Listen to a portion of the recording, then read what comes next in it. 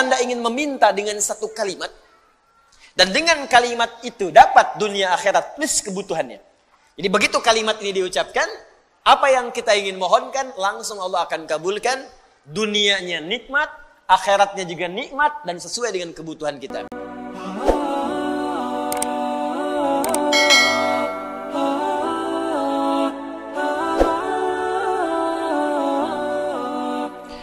Alhamdulillah Wassalatu wassalamu ala rasulillah Wa ala alihi wa sahbihi wa man wala wa ba'du Saudara-saudariku kita telah menunaikan salat isya berjamaah beserta amal dan sunnahnya.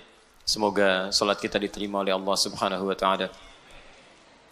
Alhamdulillah kita lanjutkan kembali Dan terhubung bersama kita ada saudara-saudari kita dari Papua. Saya simak tadi di lewat tayangan di media sosial ada yang juga dari Maluku, ada Sulawesi, ada dari Malaysia, juga beberapa wilayah di luar negeri. Kita mendoakan saudara-saudari kita dari sini, semoga Allah memberikan keberkahan pada teman-teman kita semuanya.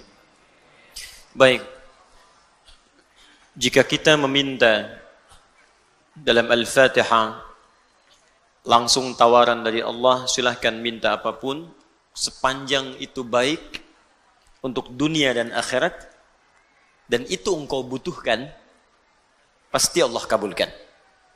Jadi ingat, itu dua ya aspeknya. Jadi kalau minta itu, yang akan dikabulkan oleh Allah aspeknya dua. Satu, kebutuhan, bukan keinginan. Ingat ya, saya ulang, kebutuhan bukan keinginan. Kadang-kadang kita meminta, menginginkan sesuatu, Allah menjawab apa yang kita butuhkan, bukan apa yang kita inginkan. Nah, dalam hal ini kadang-kadang terjadi tiga hal. Pertama, jika memang apa yang kita minta itu kita butuhkan, maka seketika akan dikabulkan. Yang kedua, boleh jadi yang kita inginkan itu memang kita butuhkan, tapi bukan saat ini. Nanti mungkin tiga tahun lagi, nanti dua tahun lagi, nanti setahun lagi, maka boleh jadi permintaan saat ini ditunda oleh Allah, jawabannya bukan tidak dijawab, tapi dikabulkan saat kita sanggup kemudian menjalani apa yang kita mintakan itu. Ini biasa, Pak. Jangankan kita, para nabi pun begitu. Ya, Nabi Muhammad sallallahu alaihi wasallam minta kepada Allah supaya kiblat dialihkan dari Masjid Al-Aqsa ke Ka'bah Al-Musharrafah di Makkah Al-Mukarramah. Apakah seketika saat meminta langsung dikabulkan? Tidak ada proses dua tahun lebih sampai hampir tiga tahun. Baru turun Quran surah kedua ayat 144 itu. Bahkan bahasanya dalam Al-Quran, Qad nara taqalluba wajhika fis sama. Kami selalu perhatikan, kami selalu perhatikan, engkau menengadahkan wajahmu ke langit memohon supaya kiblat dialihkan. Ini ternyata tidak ada ruginya berdoa, walaupun dikabulkan dua tahun kemudian, tapi saat bermohon itu kita sering diperhatikan oleh Allah. Anda diperhatikan oleh guru saja, senang. Diperhatikan oleh pasangan hidup, senang. Anak diperhatikan oleh orang tua, senang. Orang tua diperhatikan oleh anak, senang. Maka siapa yang tidak senang diperhatikan oleh Allah Subhanahu wa taala? Maka jika Anda pengertian terbaliknya, jika Anda ingin selalu diperhatikan oleh Allah, banyak-banyaklah berdoa. Wa qala rabbukum ud'uni astajib lakum. Ya, Rabbu berfirman, minta padaku, aku akan jawab. Tapi kalimatnya menggunakan astajib, bukan ujib. Ya ista itu, ista tolabu syai, bisa berarti jaraknya seketika, bisa berarti masih ada jarak ke depan. Jelas ya? Saya sering analogikan anak anda usia lima tahun, minta diberikan motor. Ya motor tertentu. Anda punya kemampuan membeli, tapi anak itu belum punya kemampuan mengendarai. Ya kan? Baik, apakah akan dibelikan? Tidak. Kalau Anda belikan sekarang, anak itu baru bisa pakai motor, tiga tahun lagi. Beli motor sekarang buat tiga tahun, ngapain? Nggak ada manfaatnya. Anda akan belikan motor-motoran dulu. Kok motor-motoran? Kamu baru lima tahun. Ntar kalau sudah lima belas tahun, maka yang motornya satu hilang. Motor, motoran, motorannya hilang jadi motor. Ya, Kalau kamu sudah punya SIM 25 tahun, 17 tahun, 18 tahun, baru Bapak belikan. Kadang Anda meminta sekarang, dijawab kemudian. Kadang yang ketiga, minta A, keinginan, dijawab oleh Allah B, kebutuhan. Awas hati-hati. Ini yang sering juga terjadi, tapi gak kita sadari.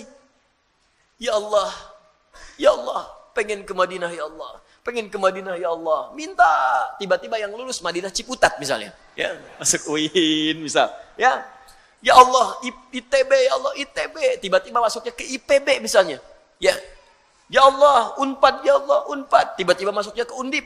Ya, Undip. Misal. Jadi kadang-kadang ketika kita minta sesuatu, dikabulkannya B.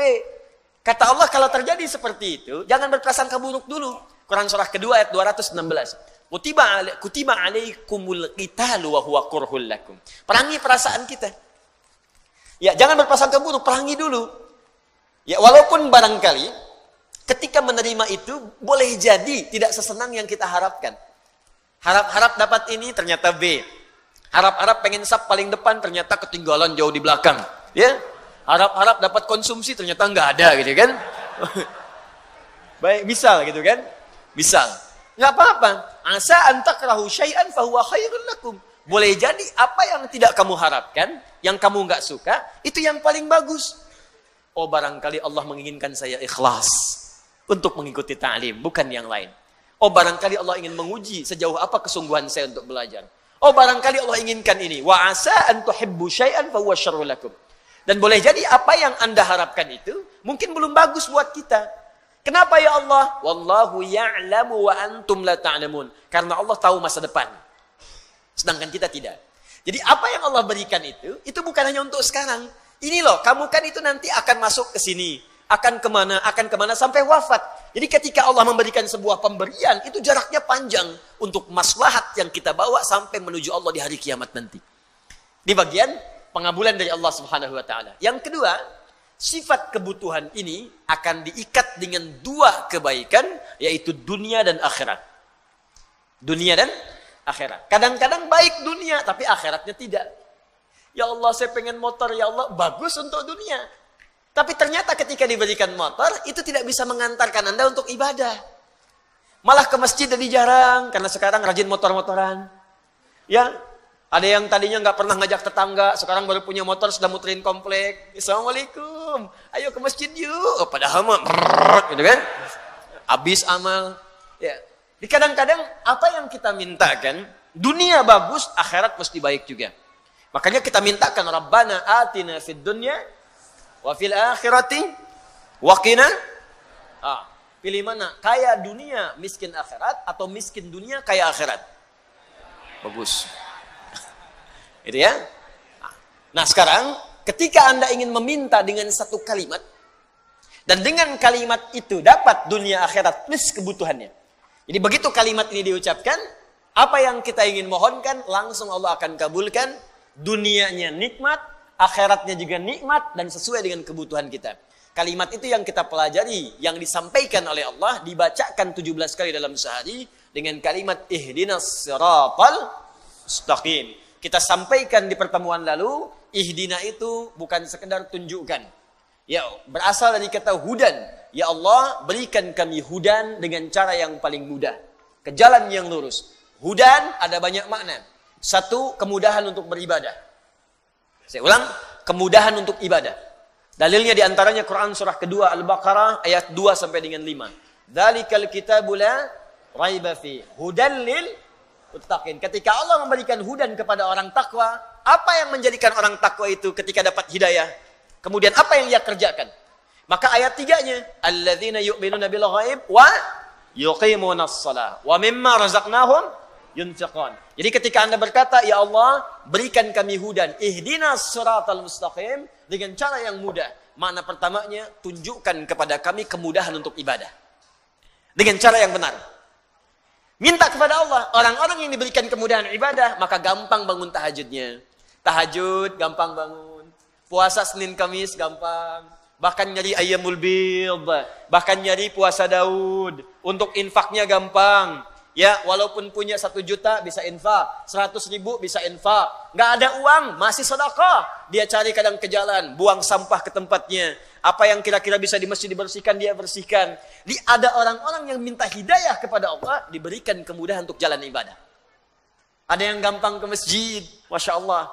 Ya, sholat subuh misalnya jam 4 lewat 6, jam 3 sudah ke masjid. Bahkan pintu belum dibuka, di luar dia sholat. Ya, karena memang bermalam di masjid itu kan, misal. Minta, minta, minta. Yang kedua ada berarti solusi. Solusi ya dari setiap persoalan yang dialami. Yang ketiga ada berarti juga bimbingan kemudahan untuk mencapai kesuksesan dari apa yang kita kerjakan dalam hidup. Di ada solusi, ada kenyamanan, ada bimbingan, ada kemudahan untuk ibadah. Kalau Anda benar berdoanya, maka Allah ajarkan kepada kita, kita akan dibimbing oleh Allah untuk mendapatkan kenikmatan dalam menjalani setiap kemudahan tadi. Maka turunlah ayat yang selanjutnya setelah kita mengatakan ihdinas siratal mustaqim. Ya Allah berikan kami hudan dengan segala jenisnya itu yang telah kita pelajari dulu. Ya dengan cara yang paling mudah cara yang paling lurus seperti apa itu semua?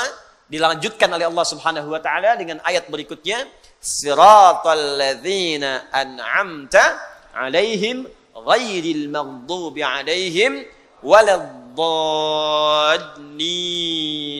Yaitu jalan-jalan kemudahan untuk mencapai petunjuk tadi. Kemudahan ibadah dengan cara yang benar.